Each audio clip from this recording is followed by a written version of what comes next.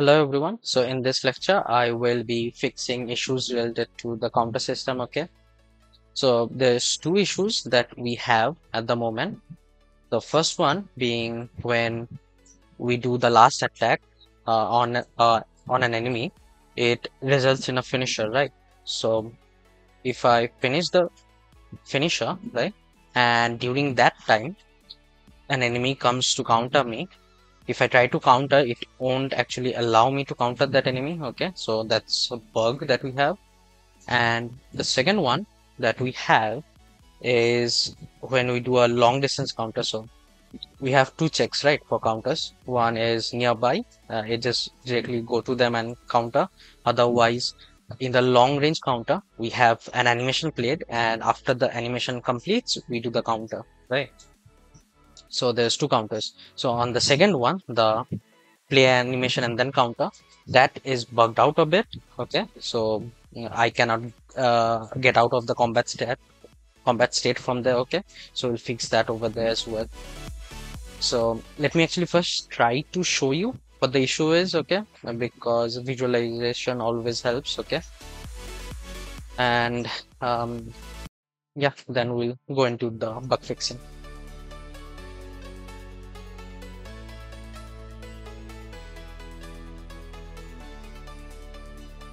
As you can see I can no longer counter him. But now if someone comes I will be able to counter him. Over here. And now you see I'm stuck over here. So this is the second bug as well. So now in close range it does not happen. That it's only where you play the dash animation. That's where it's bugged out like this. Okay? So we'll go ahead and fix these issues. Okay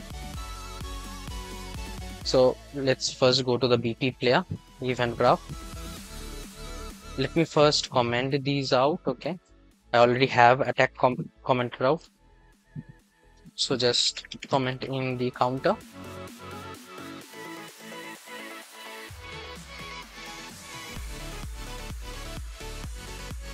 Then this is the finisher.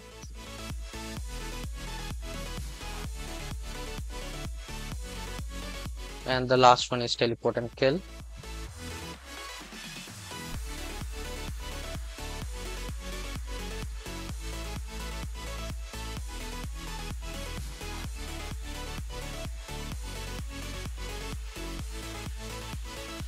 So on the attack where we can play finisher we do the teleport and kill So I'm just checking the code over here if we are doing something wrong.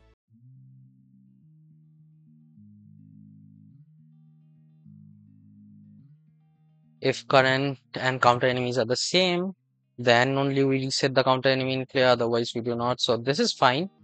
What I think the issue is, it's in the enemy notify finisher hit.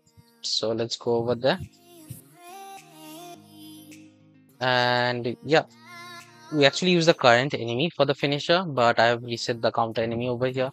So we need to reset the current enemy. Okay.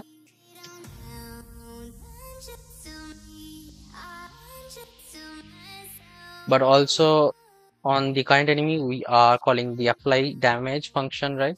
So I have to set the counter enemy uh, sorry set the current enemy as null after applying the damage to the current enemy right? So I'll just go ahead plug that back in. And this one should fix it. Also another thing I need to check in the FFCC is is where the um, current enemy is being set. Yeah we have a control enemy logic function over here. So what I'll do is I'll make sure it is valid because we are setting it to null. And when we set it to null if it runs over here with this it will actually cause an error and might crash the game so we do not want that right? That's why is valid is must. And then we get component by class and control name logic. Okay. Seems good. Let's go ahead and test it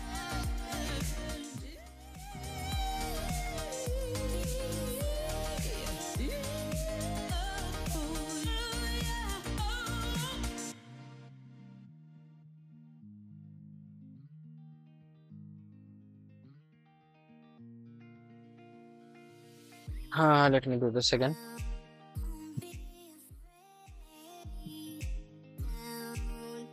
Oh my.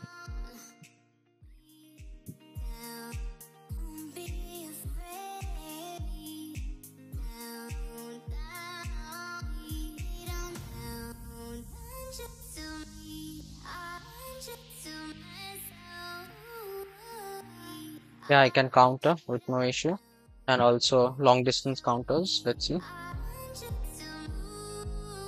Right we did not fix that right? I bet so what i think the issue for that i think the issue lies in the notify as well over there. So yeah. Let's go ahead and fix that. So for the fix we should look at the tele not teleport sorry over here in the counter. I think we are doing it using a ans let's see the name of it. It is the ans player teleport okay? So it's a c++ class so let's go to our c++ and yeah ans teleport player. And there's we are calling it from the ffcc right? So let's go ahead. Play counter montage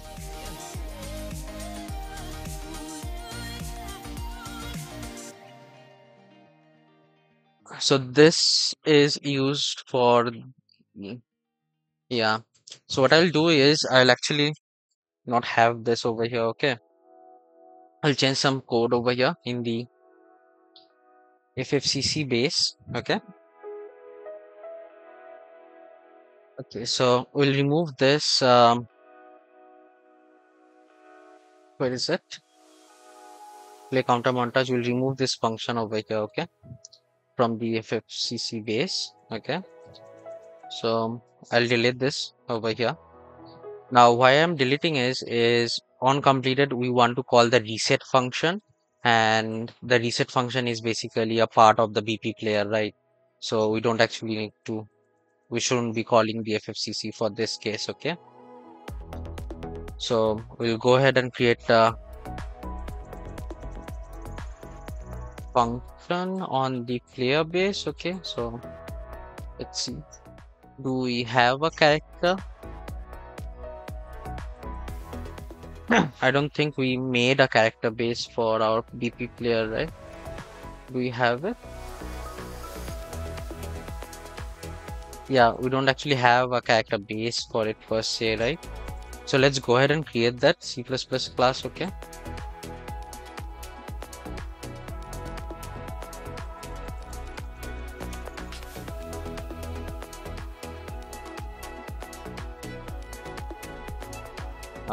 I'll call this ffcc underscore.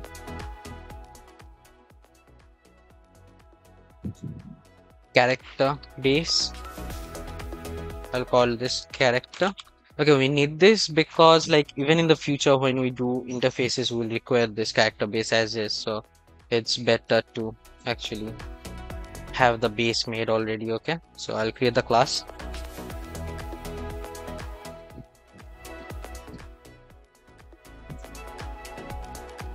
okay now once that is done I'll close this okay?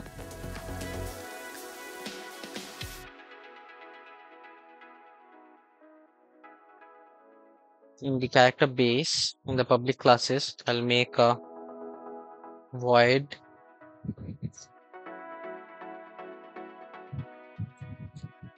Dash counter montage okay now this will be a function? And we'll use the u property same as this one okay? Over here.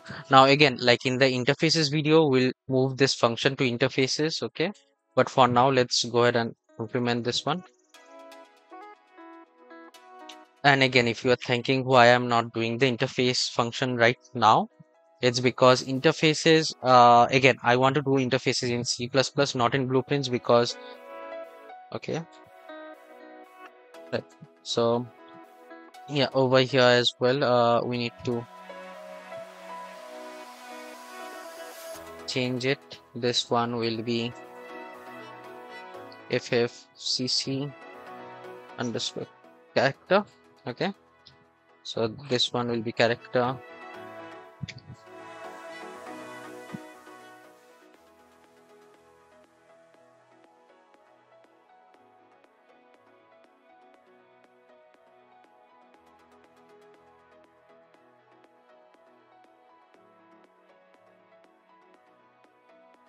okay. Now this is changed on the ans player teleport.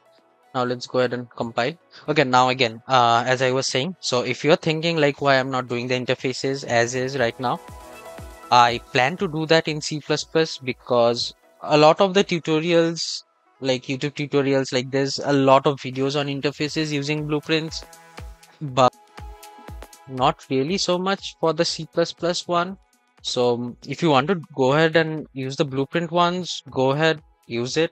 I also have, uh, I also teach about interfaces in my horror uh, tutorial and as well as the dungeon crawler as well. So you can go ahead and check those out as well over there. So how to create the interfaces, okay, over there, okay. I have went through details of blueprint interfaces over there. So just check that. Okay so now let's go ahead to the bp player. Okay now this is from the character base right? Actually we no longer require it from the character base okay? Like do we have any functions in the character base that we just made? I don't think so. Yeah nothing's here right So what I'll do is I'll go to the class settings, right? I'll change it and make sure nothing breaks, right? Yeah, I don't think it broke, but if it broke, I'll fix those if anything comes along, okay? Don't worry about it. Now what I can do, I can override the dash counter montage, okay? And I'll get the logic from here. Okay cut it out. And paste it here.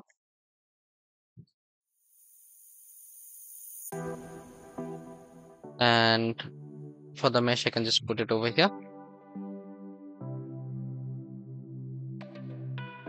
And for counter enemy I'll have the FFCC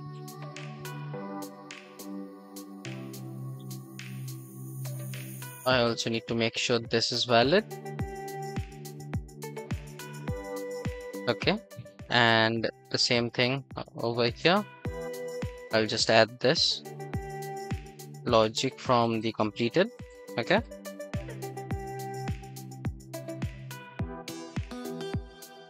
Now, once that is done, it should be fixed.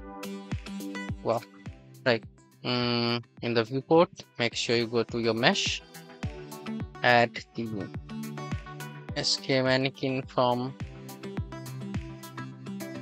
our characters. Okay. Uh, sorry, minus 90, and this one is minus 88. Okay, there we go.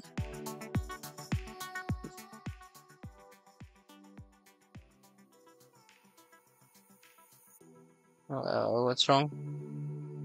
it's not rotating properly. So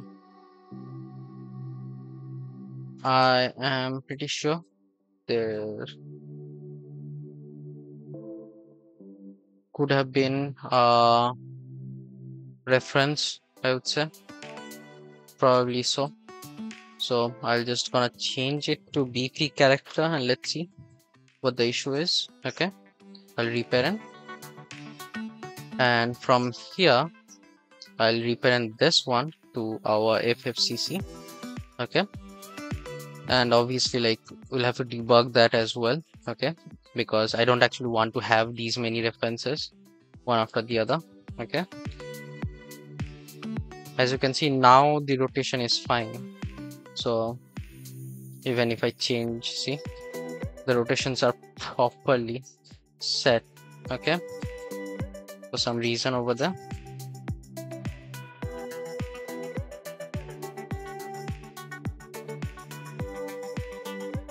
the event graph we can still have the override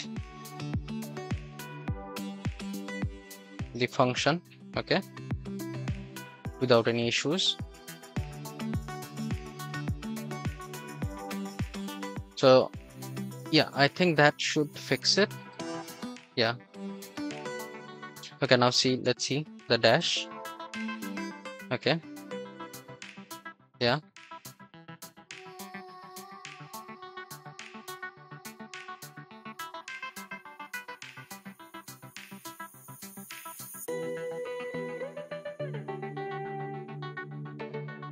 what's wrong with this?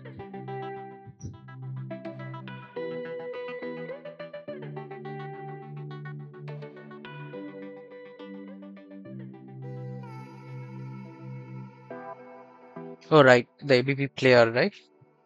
Okay so that takes care of the major bugs that we had okay?